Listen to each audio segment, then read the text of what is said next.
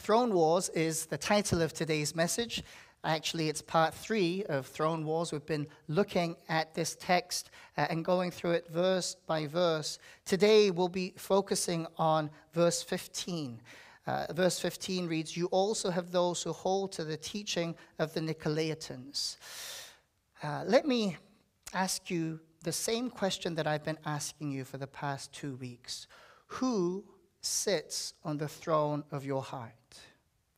Who sits on the throne of your heart? Let me put it a different way. When the Word of God contradicts your lifestyle, what do you do? When the Word of God confronts you about a lifestyle that you're living, what do you do about it? Do you conform your lifestyle to the Word of God? Or do you compromise the Word of God to fit your fleshly desires? Simply put, do you conform to the truth of God's Word, or do you compromise the Word of God to fit your lifestyle? And if you conform to the Word of God, that means Jesus is sitting on the throne of your heart. Can I get an amen? But if you compromise the Word of God, that means Jesus is not on your heart throne. You're actually inviting Satan because Satan always is rebellious against the truth of God's Word. Satan always questions God's word, God's word. Did God really say? Oh, he didn't mean it that way. When you read the word of God, he'll always try to rationalize you. Rational lies you. And will try to turn you around to compromise the word of God rather than conform and obey the truth of God's word. That can be one barometer of seeing where our hearts are. Does Jesus sit on the throne of my heart? Or have we invited Satan? And I've told you that Satan, he doesn't have his presence on the throne. Rather, he's going, to, he's going to invite you to sit on the throne of your heart. And he's going to be the puppet master. And he's going to say, You deserve this. Oh, you need this, you want this, more of this, more of the flesh. Fill up your stomach. Fill up your mind with frivolous things. It's okay to waste time. There's going to be another day coming. Really? We don't know when the world is going to end. We don't know when Jesus is coming. We're praying, Come, Jesus, soon. Come, Lord. We need you. We, I, I long for you, Jesus, to come. And yet, the devil always says, There's going to be another day. He hasn't come for 2,000 years. So maybe there's going to be another 2,000. Who knows? Only God, only the Father knows. Today we come to a very pivotal point in the church in Pergamum because this is another correction another directive Jesus is directly giving to the church. There are those who follow the teachings of the Nicolaitans. Everyone say Nicolaitans. There was a teaching back in the early church that some people thought came from one of the deacons that was chosen from Acts chapter 6. Acts chapter 6. One of the deacons that were chosen was a, a person named Nicholas. And some church fathers have written uh, various notes on Nicholas, who eventually, they presume, became the leader who went away from the true gospel. This is intriguing to me because those who are positioned in leadership can also lead people astray. But didn't Jesus already warn us about that in his word? that there are going to be many false prophets. Wolves in what clothing? Sheep's clothing. So on the outside, they're ba, ba, ba, ba. I'm so ba, ba, humble. I'm so ba, ba, filled with the Spirit. And yet they're not filled with the Spirit of God. They're filled with the spirit of pride, filled with the spirit of self acclamation, filled with self. And do you know how wolves catch their prey. It's quite interesting if you observe nature, and I love observing nature, by, by the way. I just sometimes sit in my backyard and I look up at the trees, and the trees are singing God's praise as the wind is blowing. I see the birds praising God, I see the grass praising God, and I'm praising God, and we're just worshiping in my backyard. And this week I learned about how wolves attack and catch their prey. Usually they work in a pack, they work in groups. So worry, be worried about those who are wolves in sheep clothing and they like to do things in groups. But how they do it is this they are very good at running long distance. So they will follow a pack that they're trying to get. And then as they're running after, they're running away. They follow, they run away, they follow, they run away. And as they run away, one of the sheep who might be the weakest of the flock, guess what? They can't run anymore. So one of the sheep gets left behind, and that's the prey that the wolves attack.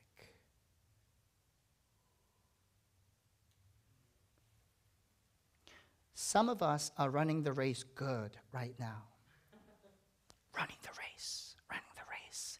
Yeah, I'm good. I'm, keep, I'm just, I can keep going and going. But what happens when your steam runs out? What happens when our passions run out?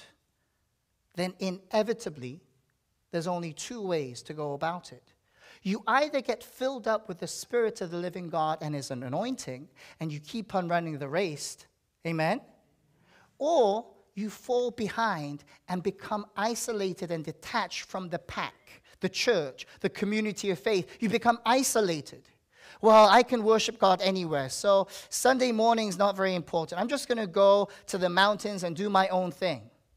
It sounds good, but then when you are away from the pack, you get isolated. And, and then all of these ideas about why is nobody calling me from the church? I have not been there for a week and nobody misses me. Well, I'm going to try them one more time. I'll miss one more Sunday, right? So I'm just going to go to the seaside now. I'm just going to do my own thing here. And eventually, your heart grows cold because how far can you run by yourself? Not very far. I remember training to become an officer in the Air Force in Korea. And at the beginning of my training, my running was very poor. Couldn't run very far. But every morning, my drill sergeant would come very kindly and loudly speak into my ears, get right up, and we would run in a formation, left, right, left, right. Anybody, anybody understand that? Anybody? Yes, praise the Lord. Thank you for your service, friends. Praise God. But as we ran as a group, we could run longer and, and further. That's the church community that God has designed for you and for me and the church in Pergamum. And yet, Jesus finds that they are following the teaching of the Nicolaitans. And you might be wondering, well, what are the teachings of the Nicolaitans? Well, the Bible doesn't tell us about the teachings of the Nicolaitans, but it gives us clues. Just look with me in the same chapter of Revelation 2. Revelation 2, he writes to the church in Ephesus, and in verse 6, we read this to the church in Ephesus. This is Jesus speaking. But you have this in your favor. You hate the practices of the Nicolaitans, which I also hate. We receive a clue that Jesus hates the teachings of the Nicolaitans. Some of you are thinking, but Jesus loves everybody. How can he hate something?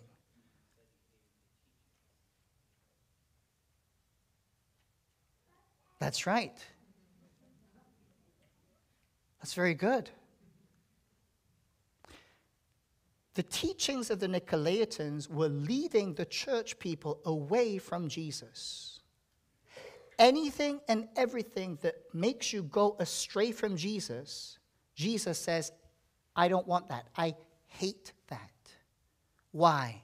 Because he loves you. You, you got to open your spiritual ears and your spiritual hearts today. Remember, God is a God of the covenant. He loves you, and His church is the bride. Amen? Who's our bridegroom king? Jesus. He loves us, and his, his, his love for us is so great that he, he is a jealous God. Because if I see my wife, and this will probably never happen, but if I see my wife having dinner with another man, guess what's going to happen to me? I will walk right in. Excuse me? Uh, what, what's going on? See, I, I didn't get the memo. You're in my seat, sir. You're in my seat. This is my bride. Praise God. Love requires us to be so focused on that relationship that anything that hinders us from getting our eyes off of our true love, we will say no. No, in Jesus' name. Vice versa, if I, this should never happen, I have my code of conduct.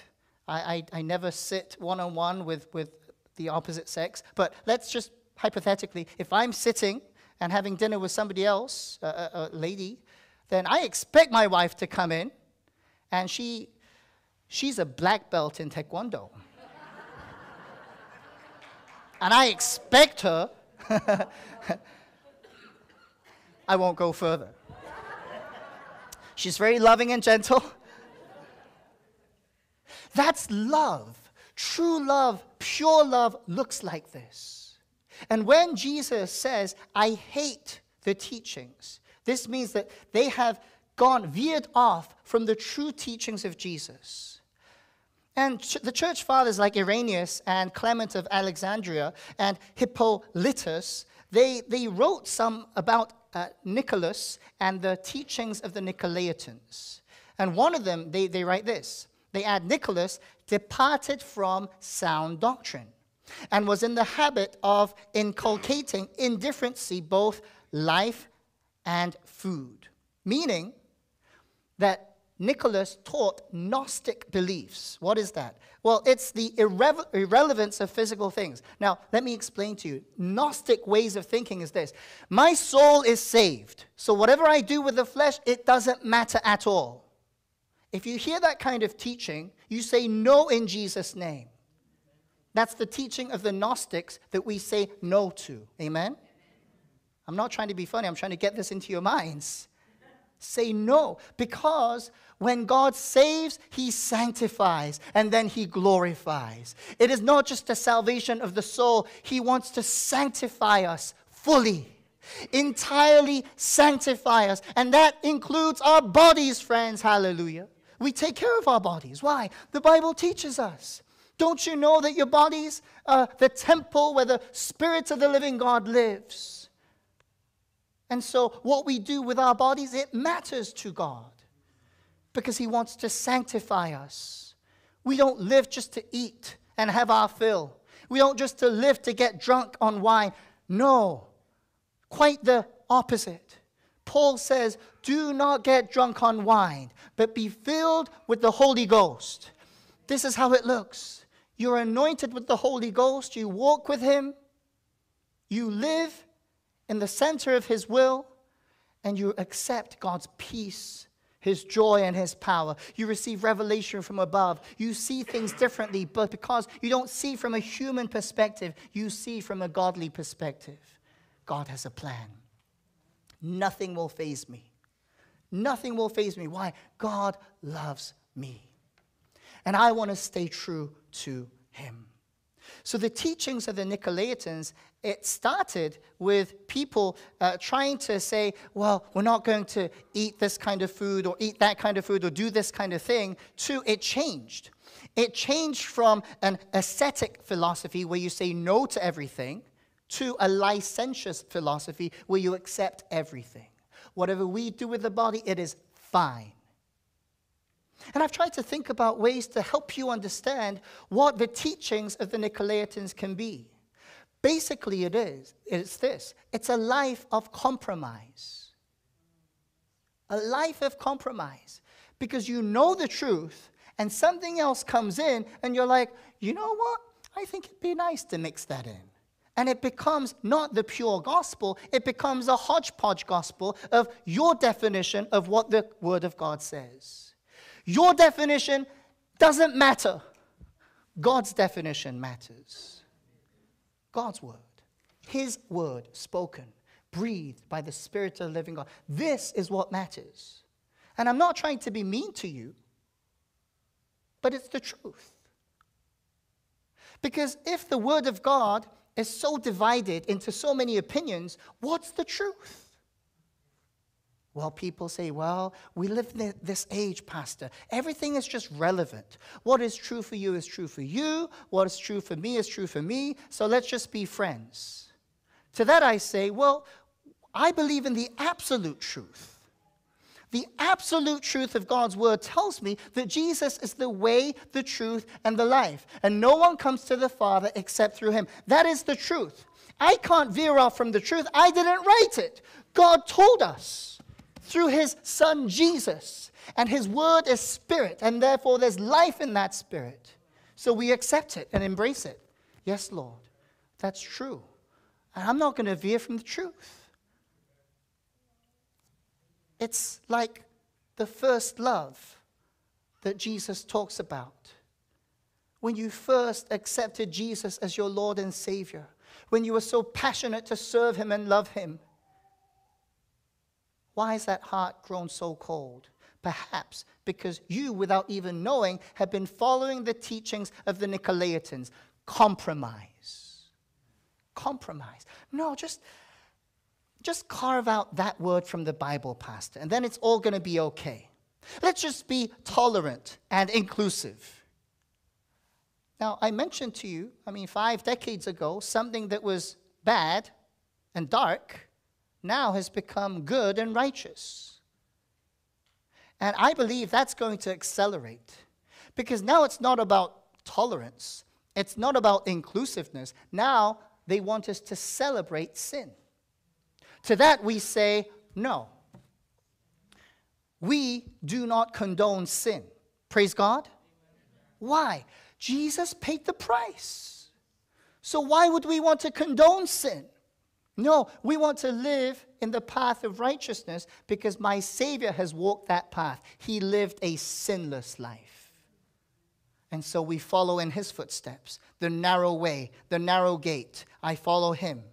And sometimes the, the way of a Christian is such that you, you need to be so laser focused.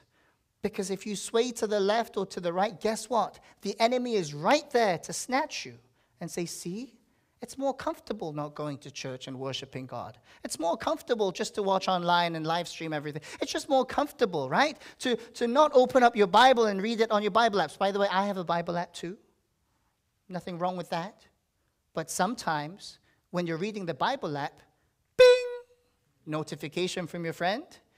So, do you have the self control to just swipe that away and keep on reading, or do you click on that and keep going back? See, some people have that faith and self control. God bless you. My mind gets so distracted by the pings, I just need to lay that down and open my old fashioned, good old Bible. Don't you love hearing the Don't you love the smell of your Bible? Oh, thank you, Jesus. This is, this is fresh bread. Fresh bread from above. Speak to me, Lord. Let the word read me like an x ray. This, this past week, I was at the doctor's getting uh, some x ray for my shoulder. I think I injured it playing tennis. Now, the one who injures themselves playing a sport means that they're pretty old to play that sport. Just my philosophy. Anyways, so they're taking my x ray they can actually see what's inside of me through the x ray. If medical devices can see through me, then what about the eyes of God? Reading me, telling me who I am. And if there's anything on my face that's dirty, the Word of God is like a mirror. And I look at, oh my goodness, why did I have this? I mean, haven't you ever had discussions and you, you were meeting with somebody, and then you go home and realize you've had this booger up your nose all that time? Anybody? And you're like, why didn't you tell me? Just tell me to blow my nose. By the way, I, I do that nowadays. So if I tell you to blow your nose, I'm being nice to you and being loving and kind. there was once uh, uh, my, my previous pastor, right? Uh, I, he was greeting people, and I saw that his flies were down. Do you know what I did? I kidnapped him. I hugged him, and I said, Okay, we're going to the toilet now. Why? Because I didn't want him to be embarrassed. So I kidnapped him. Like, and he's like, What are you doing? I'm like, Just, you'll know when we get in there. Your zip is down. That's love, though, because you love that person. You're able to come near and, say things that are true. Well, if I say this, are they going to not like me anymore? No. They're going to be eternally embarrassed about that booger that was up their nose. See, the Word of God is such that it gives us truth. Truth. And when the truth is illuminated in our hearts, guess what happens? There is freedom, there is joy, there is peace. But the Nicolaitans and the teachings of the Nicolaitans were such that it was leading people astray. Don't we face those things today? Even preachers, and I believe some of them are wolves with sheep clothing, saying to you, It's okay. Do whatever you want. It's okay. It's just, if you've given your heart to Jesus, you're good, you're saved. How detrimental is that to the soul? I'd rather be under a preacher who may not have eloquent words, but preach the truth. And by God's grace, God is affording us the joy and the privilege to hear God's word because God does not want us to compromise our faith. Another teaching of the Nicolaitans, and I'm just going to explain it in a different way, is this that you have your own version of the gospel. What is the gospel? What is the good news? The good news is this we are sinners and we need a Savior. And Jesus came down from above and he laid down his life on the cross for our sins. And those who would come to him by faith his grace and forgiveness washes us from all sins and makes us into a new creation. The old has gone, the new has come. But if you add anything, Jesus plus this, well, you can accept Jesus as your Lord and Savior, but you need to run 10,000 laps uh, at Danvers High School. That is not the gospel. But some of us want to do something and do something that is called works righteousness. It's like, I, I need to do something. God, I, I, appreciate you sending your son to die for me on the cross, but I feel like I need to contribute something. So, do you think I could do some more laps? Do you think I could do some more push ups just to make you feel a little? Can I contribute? No, God, God doesn't need our contribution. We're sinful, He is holy. And therefore, we come in with humility and receive that grace that flows from the broken body and the blood of Jesus Christ. Hallelujah. There is no works righteousness. It is a salvation by grace. But a person that is saved by grace will work out their faith and it will show in righteous, pure, holy acts. And that relationship with God and with others will be developed. Some of you wonder, why doesn't anybody like me? Right? Why doesn't anybody like me? Why don't they call me? It seems like my friend, they post something, they get 20 million likes, and I got two my mom and my dad. Like, oh, woe is me. I only got two likes, they got two million. Right? Well, that's, that happens when you're all focused about self. Self, me, myself, and I. What's more important is this the redeemed people of God we live for His glory. Can I get an amen? Not my glory. Nothing. I'm nothing. I have been crucified with Christ. It is I that no longer lives, but Christ lives in me. So when I die to myself on the cross with Jesus, guess what? I'm resurrected with the power of Christ. And so I live for his glory. So everything I do is, is geared toward how do I give God praise? How do I give God glory? How do I honor him? With my first fruits of my time. How do I honor him with the first fruits of my earnings? How do I honor him with my first child? Nobody's saying amen here. You don't want to give up your child for the ministry of the Lord? Nobody? Well, if you don't want it, I'm going to take it. I'm going to receive that blessing. And I'm praying, Lord, use the first fruits as we lay them down on your altar. Jesus hates the teachings of the Nicolaitans. And by the way, this teaching is still going on today. There is compromise, there is lawlessness. And we hold on to things that ought not to have higher place in our hearts. Let me talk about money. Anybody heard Jesus talk about money? He talks a lot about money. Why? Because the love of money is the root of all evil. Money will entice you. I mean, it's like money tries to lure you into, well, if you work harder, you'll get more money. But the harder you work, your body's going to break down. But money doesn't tell you about that, right? The demons lure you. Say, Joe, just come, it's going to be good for you. You deserve this. It's like they make you buy things that you don't really need.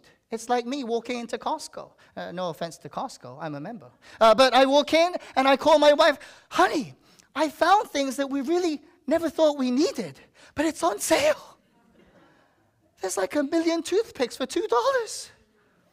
And she's like, Do we need two million toothpicks, honey? I mean, how many times a day are you going to pick your teeth? Thank you, honey, for talking some sense into me. I hang up the phone. But the devil is like, You got to have this. And then when you buy it, oh, it's only going to be like $50 a month. But once you have five products that you don't really need, that amasses to a crushing financial burden, the devil's like, Gotcha. I got you. Because if I can get a hold of your finances, it's easy to get a hold of your heart.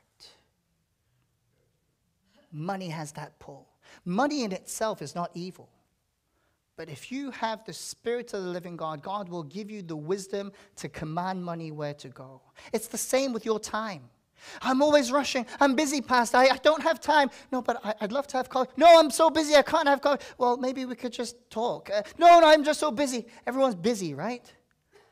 But you have all the time to post on your social media, and you have all the time to do this. You have all the time to, because you make time for the things that you value, no? No, you don't. But if you value Jesus, you'll be so locked in. This is my prayer for myself. Lord, every minute, split second of the day, Lord, would you help me to be so fixed on Jesus? Oh, and to walk with Him and to sing to Him. He gives me revelation. And I lay hands on the sick and they be made well. I'm just quoting scripture, just scripture. I see demons cast out in Jesus' name, not because of me, because of Him. I see people being restored. I see marriages being restored. I see families being restored. I see people jumping to a different career, God giving them God dreams, not my dreams. Being able to interpret prophecy and dreams in Jesus' name, walking in signs, miracles, and wonders. Praise God. Even this past week, your pastor got a call being invited to preach in Malaysia. I'm praying about it. But who on earth knows me? No one. I'm a nobody. But somehow, God is bringing people to my sphere of influence. And you know what I do? I always think about this. When I pray over here, I think about me just doing my rounds. And if I go round and round and round, there will be a hurricane of God's love, grace, and mercy. And that's going to continue to our congregation, continue to the North Shore, continue to the New England district, continue to the nations. Why not? We serve a wonderful Savior, and His word is true. And we also, as Jesus does, hate the teachings of the Nicolaitans. We don't follow it, we don't compromise, We don't follow the ways of lawlessness. We will stand true to the teaching of God's word. So, what happens to the people who continue to follow the teaching of the Nicolaitans? It's quite simple. Verse 16, let's read. Repent, therefore, otherwise I will soon come to you and will fight against them with the sword of my mouth. The key here is God's loving embrace through his son Jesus, telling us to repent, turn from our wicked ways, and turn back to him saying no to the ways of the Nicolaitans or the teachings of Balaam. Saying no to compromise, no to lawlessness, but saying yes to the order of God's truth, to his standard. But if you don't repent, there is a consequence. I will soon come to you and will fight against them with the sword of my mouth. Who are the them in the text? The ones who will not repent. There are two kinds of people on this earth. One, they have embraced Jesus, filled with the Holy Ghost, and they walk in righteousness and purity, and they are sanctified every day. For those people, God's sword will fight on your behalf, and the God of angel armies will fight your battles. That is a blessed people. I don't have to fight my own battles. I got no power. I got a bad shoulder. Praise Lord. Heal me, Lord Jesus. Amen. I believe it. I believe. But I can't fight the spiritual battles with my physical. So I pray in the spiritual. And the Lord of hosts, he fights on my behalf. And my God has never lost a battle. My God is always victorious. But take that thought of him always being victorious and come to the other side of another group of people who will not repent, who will not conform to the word of God, but always compromise and live in the way that they just feel comfortable. These people are the people where God's sword is against them. It is a very scary place to be in. Why? I just told you. God never loses. So even if you try to fight God, guess what? You're going to lose. It's a done deal. And so the consequence of these people who will not repent is, is so severe that it should make you really like cringe and tremble at God's word. We need to tremble at God's word. Were you there when they crucified my Lord? Were you there when they crucified my Lord. Oh, oh, sometimes it causes me to tremble, tremble, tremble. Were you there when they crucified my Lord. When are we going to tremble at God's word and conform to his ways? Because in Matthew 7 21 to 23, this is what Jesus says Not everyone who says to me, Lord, Lord, will enter the kingdom of heaven but the one who does the will of my Father who is in heaven. On that day, many will say to me, Lord, Lord, did we not prophesy in your name and cast out demons in your name and do many mighty works in your name? And then I will declare to them, I never knew you. Depart from me, you workers of lawlessness, the teachings of the Nicolaitans. Compromise, lawlessness, out of order inviting chaos, inviting evil spirits. And last week I talked to you about food sacrificed to idols. And in our day and context, it can be this you consuming the media that the enemy has made up for a certain agenda. You consume more of it, guess what? You get consumed by it. And it's permeating the whole canvas of this generation.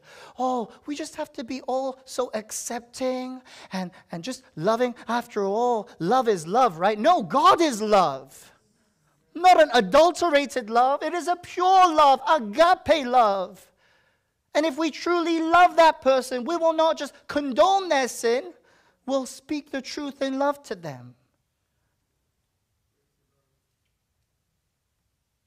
In 1 Corinthians 6, verse 18, Paul talks to the church in Corinth flee from sexual immorality.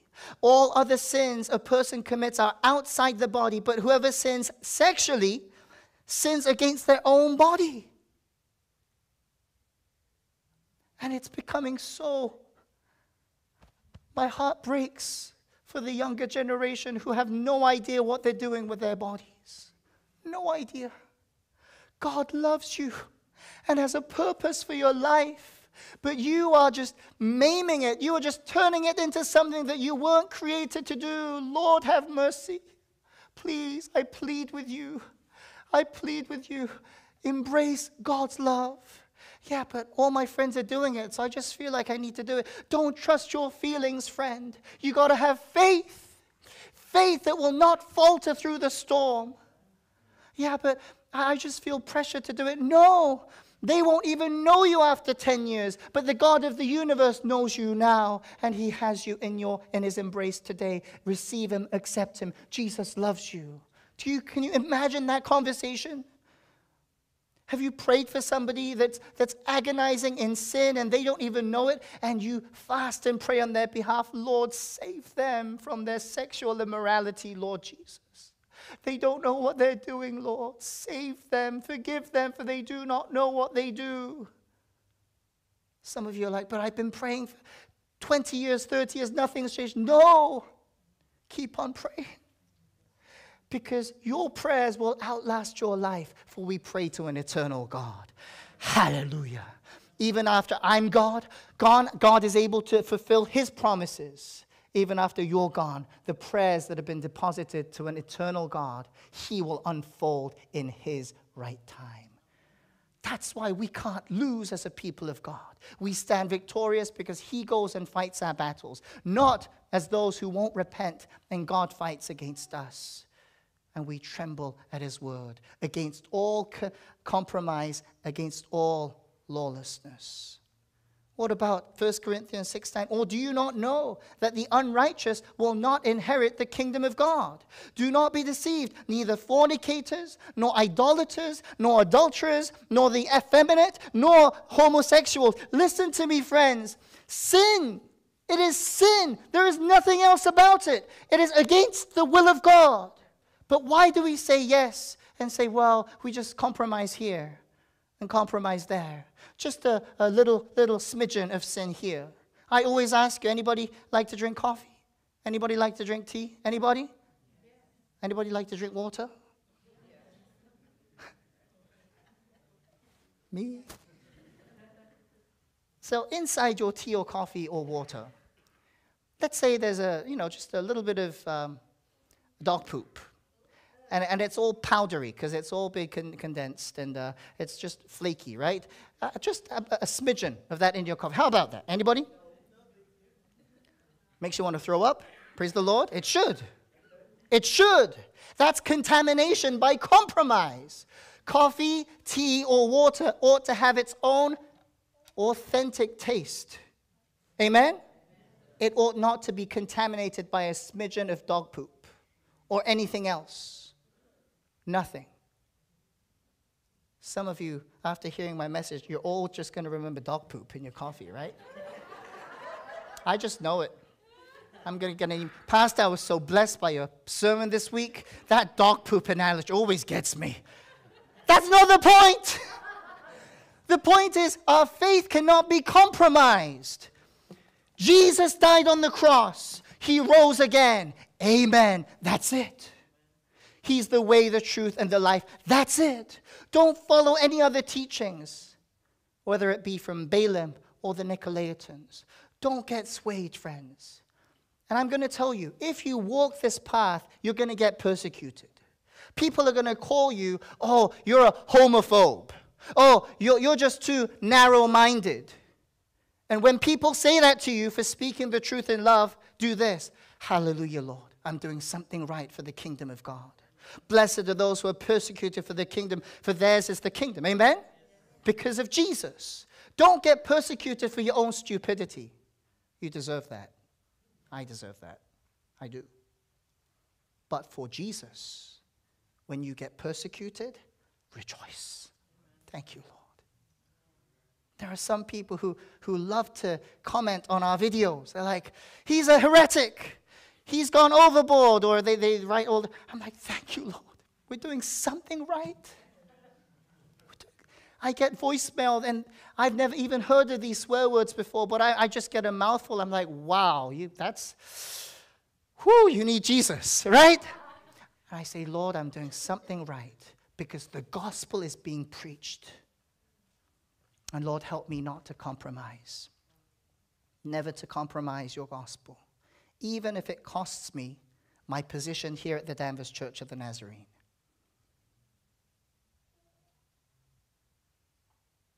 Now, I love our congregation, and I would never want to be removed. But if the preaching of God's word gets to that point where it offends so many people and you vote me out as your pastor for preaching the word of God, praise God. Debbie, at least there's one person that said no way. God bless you, sister. That was very good timing. No way, Pastor. But if that happens in this church, then I'd be very happy to remove myself, go down the street, get on a milk crate, and preach the gospel. Because this land needs Jesus. It is a dry, dry land. And I'm praying for the rain of God, for Him to open wide the floodgates and rain down Jesus. And I'm expectant of that. And we give all the glory and praise to God because that does not come from me, it comes from Him. So, are we ready to repent today? Are we ready to come back to Him today? Are we ready to say, Lord, I have compromised my faith. I have been believing in my own version of the gospel, and I am so sorry.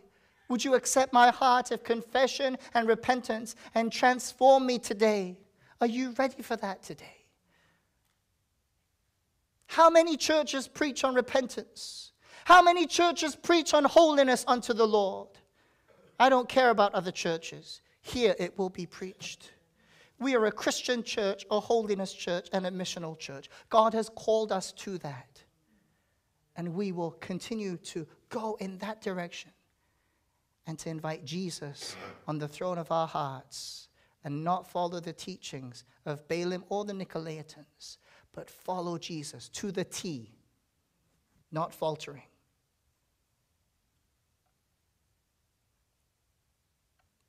Some of you, when you first got your driver's license, all you knew how to do was to go straight, holding onto your steering wheel. Going straight.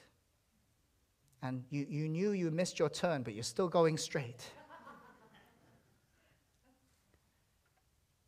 As funny as that is, I believe we ought to be like that today, fixing our eyes on Jesus, following Him. Don't need to look to the left nor to the right. Just fix your eyes on Jesus and your destination, heaven. And if you fix your eyes on Jesus, you have the faith to live heaven on earth right now. You live in the power, you have the presence. You know that God is for you. And when God is for you, nothing can stand against. So let us fix our eyes on Jesus. Let us pray.